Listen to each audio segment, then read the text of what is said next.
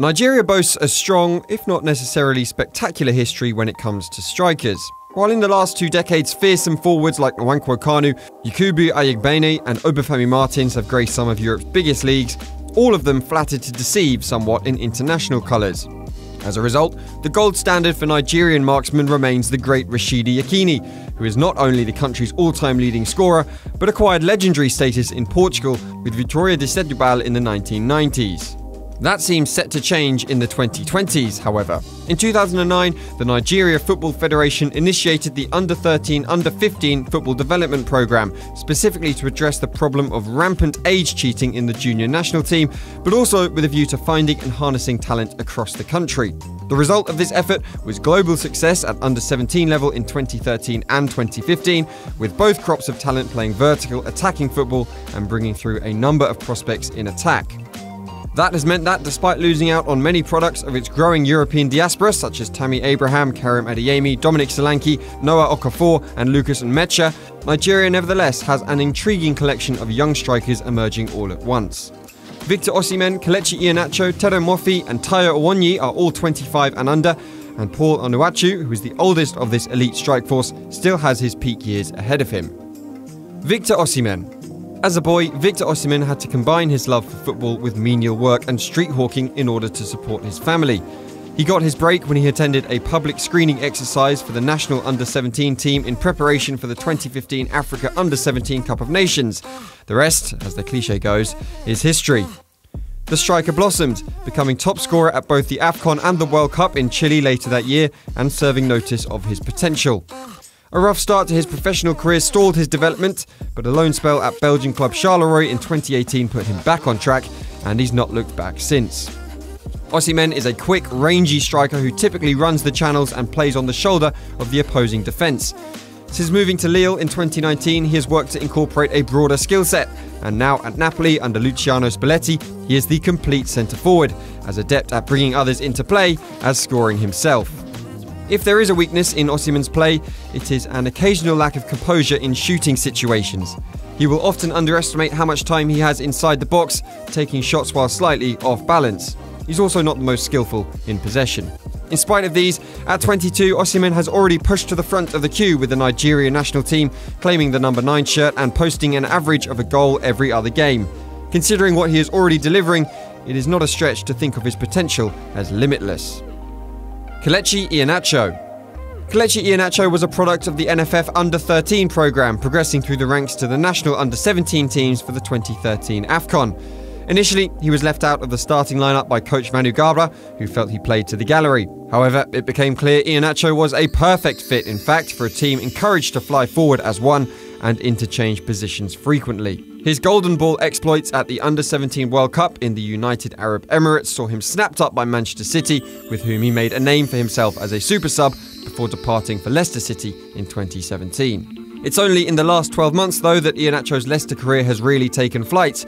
A spate of attacking injuries forced Brendan Rodgers to opt for a two man attack, pairing the 25 year old with Jamie Vardy for last season's run in. The result?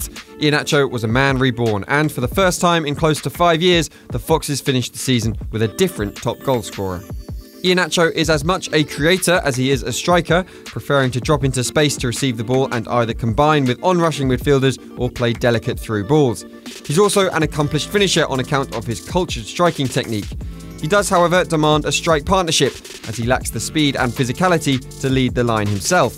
He's also heavily one-footed, which can make him predictable. He does practically guarantee goals and or assists though, and at the very highest level that remains valuable. Iheanacho has already begun to strike up an understanding with Osimhen, playing in a slightly deeper role for Nigeria, and will likely continue in this brief for the foreseeable future. Terem Moffi. The son of a former goalkeeper, Terem Moffi took the long road to the top after failing to nail down a place with the 2015 under 17 national team. After that disappointment, he went to the UK, joining Buckswood Football Academy for a year before taking an offer to play in Lithuania. There, he finally began to showcase what he was about, scoring 20 goals to help modest Riteriai qualify for Europe and catching the eye of Belgian side Kortrijk. Belgium proved a similarly fruitful experience for Moffi, who only needed half a season to prove he was ready for a bigger stage. He got that step by moving to Lorient in the summer of 2020 and immediately put Liga on notice. His debut season saw him hit 14 goals and help his side escape the drop by two points, despite having one of the worst defensive records in the division. Moffi is a powerful centre forward with a strong base in terms of skill set. His biggest asset is his movement, as he has a knack for making runs on the blind side of defenders, making him difficult to curtail. He is quick for his size and rarely blasts his finishes, opting instead for precision. That, however, can go against him, and he could do with incorporating greater variety in his finishing. There's also a sense that while this season has seen him more involved in Lorient's build up, he does not dominate defenders in the air as one might expect. So far, Moffi's role in the national team has been a bit part one. It remains to be seen whether coach Gernot Rohr considers him a serious option. For all his obvious talent, he could get lost in the international shuffle. Paul Onuachu. Certainly, no one can accuse Paul Onuachu of not dominating in the air. The 27 year old is the only member of this shortlist who did not have any affiliation with the Nigeria under 17 national side. Instead, Onuachu came up through the academy system, moving to Danish side Midtjylland via partner club FC Ebedei. Standing at over 2 metres tall, the striker made a name for himself when, in 2016, he scored against Manchester United in a famous 2 1 win in the Europa League. It was a moment that seemed to spark a new confidence in Onuachu as he went from inconsistent forward to mainstay, hitting over 20 goals in two of the subsequent three seasons to earn a move to Belgian side Genk. The theme held first a slow start and then an explosion. The Nigerian scored 35 goals for Genk in all competitions in 2020-21, attracting interest from all over Europe.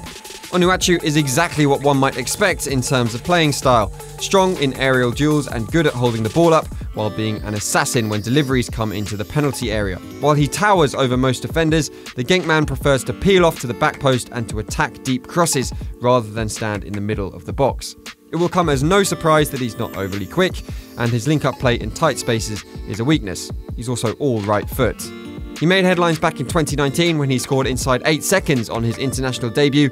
As a result, he's often viewed as the perfect plan B on Nigeria duty, and it's a role that suits him well. Taiwo Awoniyi. Taiwo Awoniyi's opportunity came from making the most of a fortuitous break, which is a perfect encapsulation of his style as a striker. The Union Berlin man came to the fore when he scored four goals at the 2013 FIFA Under 17 World Cup. However, it was an injury to teammate Isaac Success in the competition that presented Awoniyi with his chance. He would not relinquish the position again, and after leading the line for Nigeria at under 20 level as well, the striker was snapped up by Liverpool. Work permit issues prevented him from making an appearance for the Reds, however, and he endured a spate of loans in Belgium and Germany, which made it difficult to put down roots. Now at Union on a permanent basis, he appears to have found a rhythm and consistency and has already hit double digits for goals so far this season. Awoniyi is a striker who loves to play on the shoulder of the opposing defence and is explosive in his movements. While not technically accomplished, he makes up for this by getting his shots off very early and will often catch goalkeepers out with even scuffed finishes before they can set their feet. Due to the limited nature of his skill set, he does little work in deeper areas and so requires chances to be fed to him. Awoniyi only made his debut for Nigeria in the October international window and remains a viable option in the thinking of the national team selectors. While these five have the strongest cases, there are other forwards worthy of acknowledgement. Simy Nwankwo scored 20 Serie A goals for relegated Crotone last season. Emmanuel Dennis has made quite the impression for his goals and his fouling in the Premier League since joining Watford. Henry Onyekuru is a talented forward and flits in and out of international reckoning. Almeria's Umar Sadiq is another who offers some interest.